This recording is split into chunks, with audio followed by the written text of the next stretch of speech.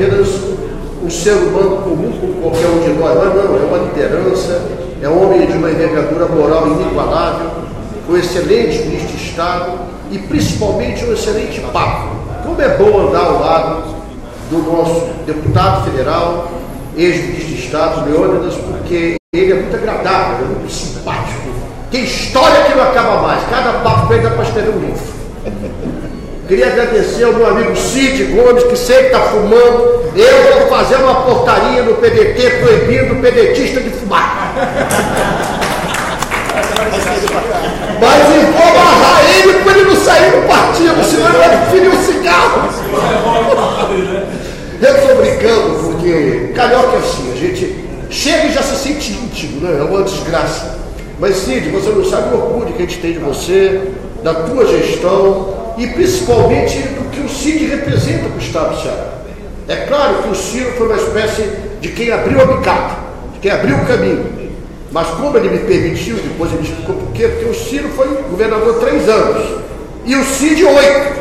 E eu entre o Ciro e o Cid, com medo dos votos, assim, como é que eu falo que o outro é melhor? Deu o Ciro, mas ele foi oito anos, não foi mais do que eu. Não pode ser. O Cid, que é o melhor governador da história do Ceará, ele tem pra gente, e eu acho que o povo do Ceará tem essa gratidão.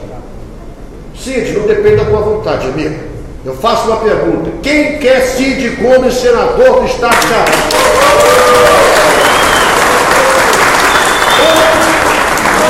Ele pode fazer o charme que ele quiser, ele é charmoso. Mas o povo escolhe e pronto, não é isso? Democracia é a voz do povo. Então você vai ser senador porque o presidente da República, Ciro Gomes, precisa de senadores que tenham coragem e amor pelo Ceará para defender os interesses do povo do Ceará. Nós precisamos, Cid, não é você que precisa da gente, a gente é que precisa de você. Queria agradecer e eu quero, aí é particular, viu, Ciro? Não, não quero que o Cid fique chateado comigo, não quero atrapalhar a vida do, da aliança aqui no Ceará, mas se depender da minha opinião modesta, eu quero o André Figueiredo candidato ao Senado. Desculpa, salvo o melhor juízo, doutor João Hilário, não sou eu doutor. Salvo o melhor juízo, eu penso que nós vamos ter uma eleição em que o povo vai escolher lá. Nós vamos ter que escolher um lado. Nós vamos ter uma eleição que, infelizmente, na minha opinião, depois de Getúlio, o maior presidente desse país, teve, foi Luiz Inácio Lula da Silva, vai estar impedido uma perseguição cruel que está se fazendo contra ele. Mas é um fato. Né? A gente não tem como mudar os fatos. E vamos ter Ciro Gomes aqui no estado do Ceará, escrevam a nota e grave, com mais de 70% dos votos para presidente da República. Escrevam e me podem gravar. E por que não é só um raciocínio, gente, que eu quero desenvolver. E aqui só tem gente muito mais inteligente que eu. Como fala Ciro, o mais besta me dá aula. É tudo aqui mais inteligente que eu. Como a gente vai abrir mão de ter dois senadores do PDT para ser parte de sustentação de Ciro Gomes no Senado Federal? Eu quero pedir ao meu amigo André, toca teu coração, filho. É claro que é mais simples, é mais confortável, vai ser um deputado federal, como o outros será, com muita tranquilidade. Mas a vida não é feita para aqueles que não têm coragem de ousar. Ouse e seja ao lado de Cid Gomes os senadores do Estado do Ceará para honrar e orgulhar esse Estado. É minha modesta opinião e eu não posso ser censurado. Sou convidado aqui, vou fazer o quê? Eu falo o quê? Queria agradecer ao vereador Veneza, jovem, jovem ele, né? Vevé. Mais jovem, mais jovem. Jovem e, e preparado, viu? Vi ali tua, tua maneira de falar, tua gentileza de palavras, e mais do que isso, a profundidade que a gente percebe com algumas palavras. Você tem futuro, viu? Você ainda vai ser prefeito dessa cidade um dia. Pode marcar que eu estou falando. Escreve depois do Pelo PDT, é claro. É claro. Um homem pode errar na vida, mas não pode persistir no erro a vida toda. Obrigado, querida. Então eu queria só para finalizar, gente, desculpe um pouquinho o jeito informal que eu tenho que ser, a falar aquilo que vocês já sabem. Quem é Ciro Gomes, a história de Ciro Gomes, tudo isso todo mundo já sabe aqui mais do que eu. Mas não é só simplesmente vir aqui fazer a pabulagem, é pabulagem. pabulagem do Ciro, que todos vocês sabem quem é. É dizer que o Brasil está precisando do Ciro. O Brasil está numa fase crucial da sua vida. O Brasil teve um golpe sofisticado. Não precisou ninguém ter arma, não precisou ter militar na rua. Foi um golpe dado por uma cúpula de canalhas que tomou de assalto o poder para roubar o povo brasileiro e tirar seus Isso é verdade. É só ler e acompanhar. Ninguém é besta aqui, repito. É só ler e acompanhar. Não está na hora para brincar. A presidência da República não pode ser uma aventura, uma aventura para colocar qualquer um. Não pode estar na presidência da República quem nem sequer tomou conta de uma bodega no botequim. Não pode estar na presidência da República alguém que a única coisa que vai falar vai ser vamos chamar o general para isso, vamos chamar o general para isso, com todo o respeito que merece o general. Não pode na presidência da República alguém que quer ser beata. Presidência da República tem que ser alguém que tem conhecimento, que tem informação, que já foi testado, aprovado e que tem coragem para defender e amar o povo brasileiro. Tem nome e sobrenome, Ciro Ferreira. Nome e sobrenome. E olha, Ciro, fechando que embora eu já falei demais. Nós estamos no começo dessa caminhada. E eu sou de muita fé e respeito todas as religiões. Com a bênção de Padre Cício que nos ilumina, nós vamos sair daqui da região do Caiuí para construir uma ponte direta para Brasília, para o Palácio do Planalto. Ciro Gomes, presidente da República, para orgulho do povo do Ceará.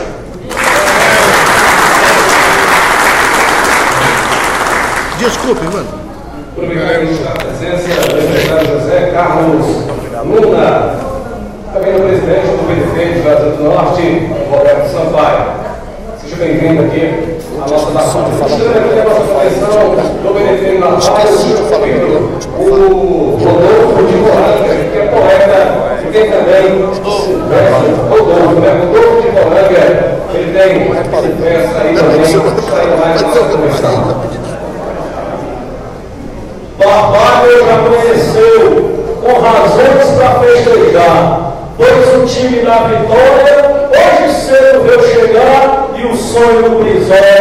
Ciro vai realizar. Eu tenho bater na liga, por isso é que eu me promovo. 38 anos de vida pública, é limpo, professor novo. Arrocha o nosso Gomes, fala aqui para o nosso povo.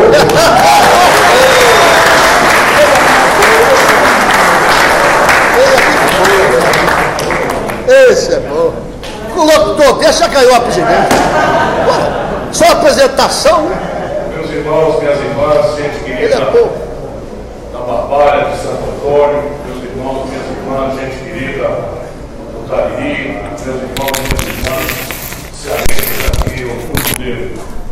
Quero cumprimentar, muito agradecido, não só pelo gesto generoso de nos abrigar aqui nessa casa do povo barbalhense, mas também pela generosidade das suas palavras. Eu também fico bastante feliz de ver jovens nascerem para a vocação política, porque muitas vezes a política se desmoraliza tanto que o nosso povo nela perde a fé. E fora da política não há solução para nenhum dos nossos problemas. Por isso, o remédio para a política ruim não é negar a política, é ocupá-la. E quando um jovem como você, meu caro Vevé Siqueira, presidente, faz isso, dá gosto a gente ver não é, que o Ceará está produzindo líderes para o seu próprio futuro. Quero cumprimentar e, assim, muito agradecido, muito honrado, muito feliz por a vida ter me dado mais esse irmão, esse que acabou de falar para nós, o Carlos Lupe. Se eu algum dia tiver a aventura de servir ao Brasil como presidente, podem saber, é porque ele botou o peito na frente, ele botou a testa na frente para abrir o caminho para rasgar a picada, apanha todo dia para ajudar a construir esse caminho. Meu irmão, na minha terra eu te agradeço muito honradamente e tu sabes que não vai para a embaixada coisa nenhuma, tu vai me ajudar lá, a gente a botar em prática toda essa esperança. Ele quer ser embaixador, a ver se eu vou deixar. Meu caro irmão, é orgulho meu assim de vê-lo e não há nem favor e não é por causa do tempo o Cid é um estadista visionário, é um parlamentar brilhante, é um executivo extraordinário, é um homem que preparou-se também, conhece as questões da educação, hoje é uma referência internacional, enfim, o maior governador da história do Ceará, sem desmerecer os grandes governadores que nós já tivemos. Meu irmão Cid Gomes, é um privilégio caminhar com você. Meu velho, querido, estimado e admirado amigo, dos maiores prefeitos, se não o maior prefeito de quem o povo de Barbalha se lembra, meu irmão, meu querido amigo João Hilário. É um privilégio muito grande abraçar você na sua terra, ouvir a doçura, a lhaneza, a delicadeza das suas palavras, sempre muito generosas. E se esses gestos todos cometi em sua direção, creio não foi fineza nem favor nenhum.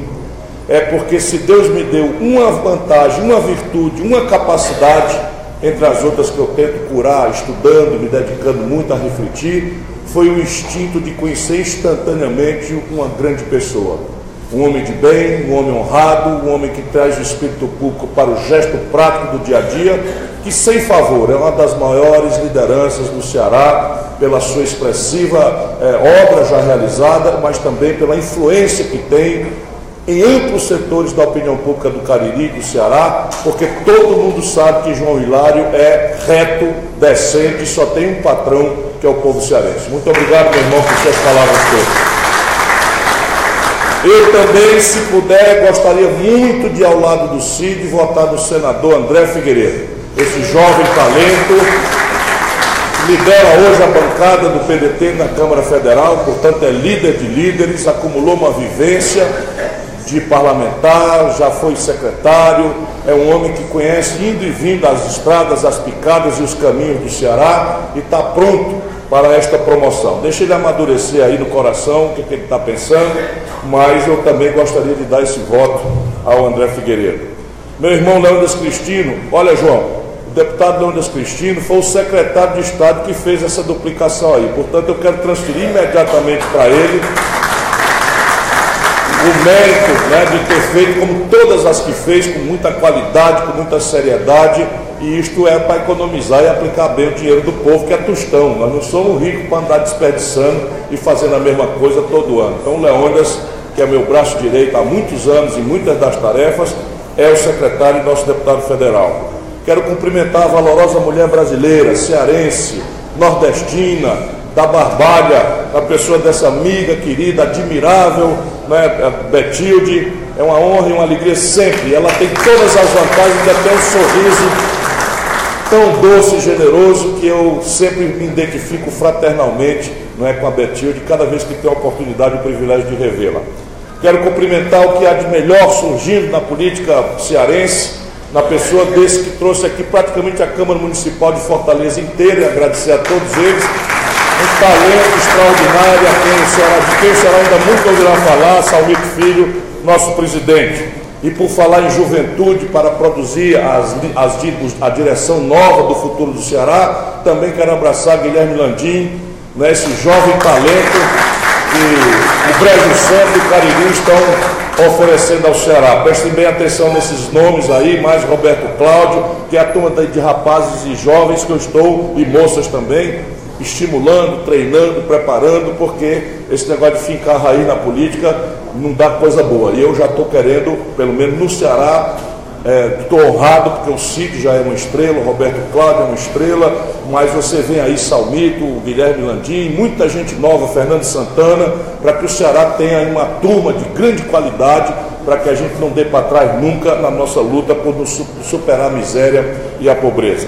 Quero cumprimentar toda a militância do PDT, toda a militância do PDT, que tem sido o meu exército de ocupação por onde eu ando no Brasil, na pessoa desse velho amigo também, Geraldo Sinésio, nosso presidente. Quero cumprimentar os vereadores e vereadoras, na pessoa do César Veras, que é presidente da União dos Vereadores do Ceará, e abraçar aquilo que há de melhor né, na, na, reflexão dos nossos tempos, meu velho camarada de movimento estudantil, e que eu tenho a alegria sempre de, de, de revê-lo, meu amigo Papito Oliveira, presidente da Fundação Leonel Brizola, Alberto Pasqualini. Meu irmão, minha irmã, eu não quero abusar muito mais da sua paciência, senão para agradecer, muito estimulado, muito, muito feliz, muito carinhado e, acima de tudo, muito grato, um sentimento profundo de gratidão todas as expressões de carinho que eu tenho recebido desde que nas primeiras horas eu acordei ontem, como disse ah, em Crato e, e, e, no Juazeiro, acordei ontem manhã cedo lá no sul do Brasil, em Santa Catarina.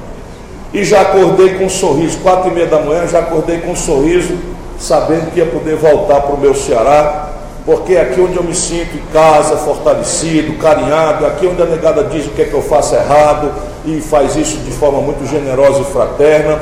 É aqui que eu sinto assim um lugar bom para respirar. E se eu volto para o Ceará, ainda com a bênção de um inverno bom que Deus, na sua sabedoria, nos mandou depois de cinco anos de seca, creio, eu estou muito feliz e agradecido.